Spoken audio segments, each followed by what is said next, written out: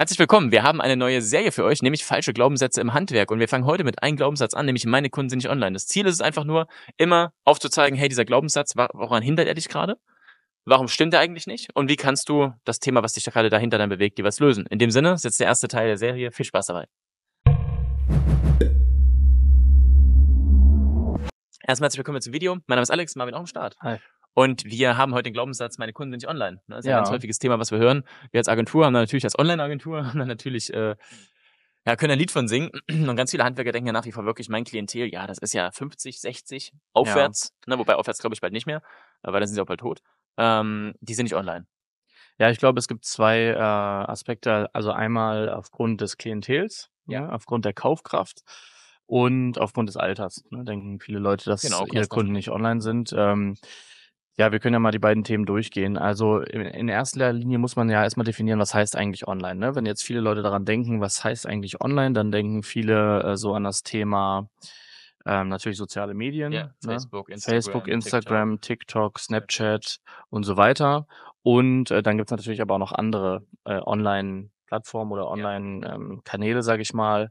Natürlich auch äh, klassischerweise Online-Magazine, ja, oder Tagesthemen, äh, Spiegel Online etc. Das sind natürlich auch riesige äh, Online-Kanäle, wo sich Leute aufhalten. Ne? Und ähm, jetzt muss man erstmal überlegen, okay, äh, wenn man jetzt die beiden Aspekte durchgeht, ähm, Klientel und Alter. Ja. mh, ja, zum Thema Alter kann man einfach sagen, da gibt es natürlich gewisse Abstufungen in den Plattformen. Ne? Wenn wir jetzt über TikTok sprechen und so, da hast du völlig recht. Da wird es mit Sicherheit im Handwerk nicht das ideale Klientel jetzt zum jetzigen Zeitpunkt geben. Wir haben jetzt ähm, ähm, Q3 2024. Also es ist im Endeffekt bei TikTok noch so, dass da eine relativ junge Zielgruppe ist. Aber bei zum Beispiel Facebook und Instagram haben wir einfach sehr, sehr ähm, hohe ähm, Ausprägung von Leuten ja zwischen 30 und ich würde sagen 55. Äh, das ist einfach so der Hauptnutzeranteil dieser, äh, dieser Plattformen oder auch dieses, also dieser Plattform im speziellen Facebook.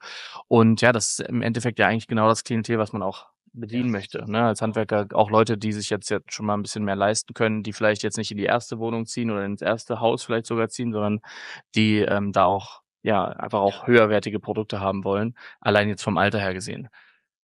Genau. Also man muss sich auch mal fragen, ja, ich meine, wir reden jetzt über Glaubenssätze, woran hindert dich der Glaubenssatz eigentlich? Und ähm, man muss einfach, also fairerweise ist es so, ein Euro online richtig, das ist ganz wichtig, richtig investiert, bringt viel, viel mehr, als ein Euro in der Zeitung richtig investiert. Äh, Ist einfach so. Jeder weiß, Zeitung, Radio etc.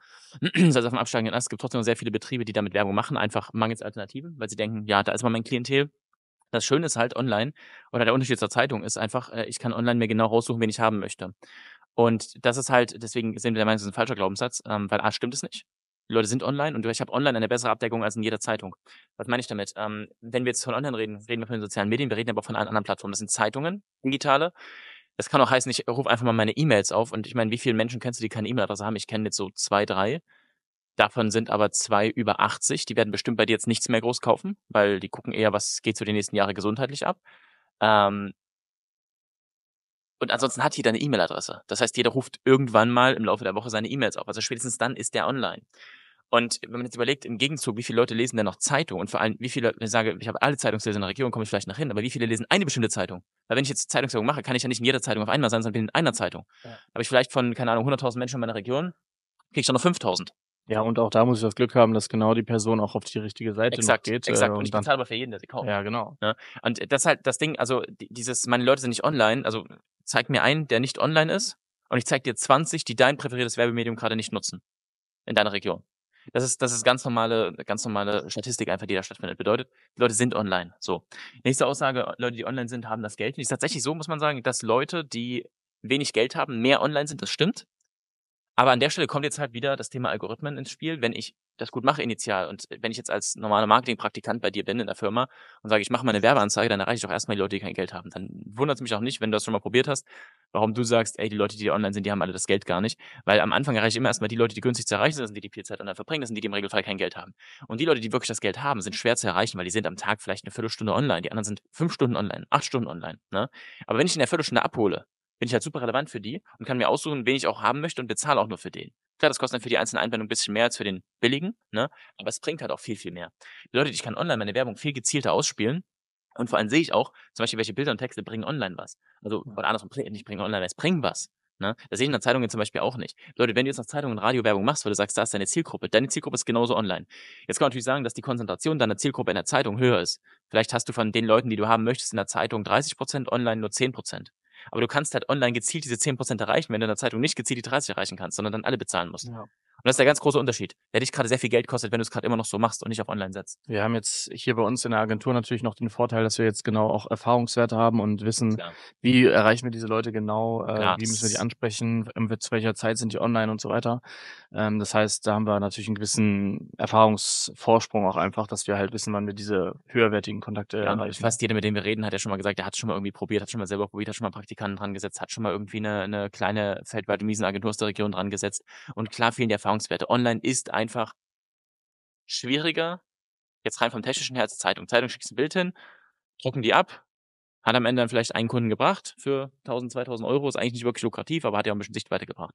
Online kann ich auch 2000 Euro ausgeben und keinen Kunden gewinnen. Ja, sicherlich. Ich kann auch 5000 ausgeben, keinen Kunden gewinnen. Aber wenn ich es halt richtig mache, dann kann ich auch einen Kunden für 200, 300 Euro gewinnen, je nach Bereich.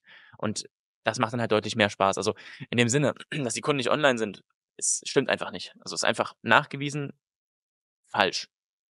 Und es hindert dich gerade daran, das Werbemedium für dich mal wahrzunehmen, kennenzulernen, was gerade einfach auf dem investierten Euro, wenn man es richtig macht, wie gesagt, ganz wichtig, wenn man es richtig macht, das meiste an Ertrag bringt. In dem Sinne, ähm, wie gesagt, wenn du dich mehr darüber informieren willst, wie gesagt, abläuft, schau gerne auf der Website, da haben wir auch Ressourcen, da haben wir auch diverse Schablonenvorlagen, dass du mal siehst, wie funktioniert Online-Werbung. Da siehst du auch Leute, die bereits äh, mit uns Werbung schalten zum Beispiel, die dann auch mal erzählen, hey, davor war es so, da habe ich, vor, hab ich so Werbung gemacht, jetzt mache ich das auf einem Online-Weg und das hat die und die Vorteile und äh, hat da vielleicht auch die und die Nachteile gebracht in der Zeit, kann ja auch mal sein, ist ja auch immer eine zweiseitige Betrachtung. Aber im Regelfall ist Online halt deutlich effektiver und äh, ja, schlag dir einfach aus dem Kopf, dass deine Leute nicht online sind. Das stimmt einfach nicht. Egal in welcher Region du bist, egal wo du in Deutschland bist, es stimmt nicht pauschal. Wenn du sagst, es ist wirklich so, du bist da 100% überzeugt von, trag dich bei uns ein, ich beweise das Gegenteil. Hier ist mein, mein Angebot für dich. In dem Sinne, ich wünsche dir eine schöne Zeit. Lass gerne einen Daumen nach oben da, schreib gerne in die Kommentare, ähm, wenn du dazu auch eine, eine Meinung hast. Ähm, und ja, bis zum nächsten Mal.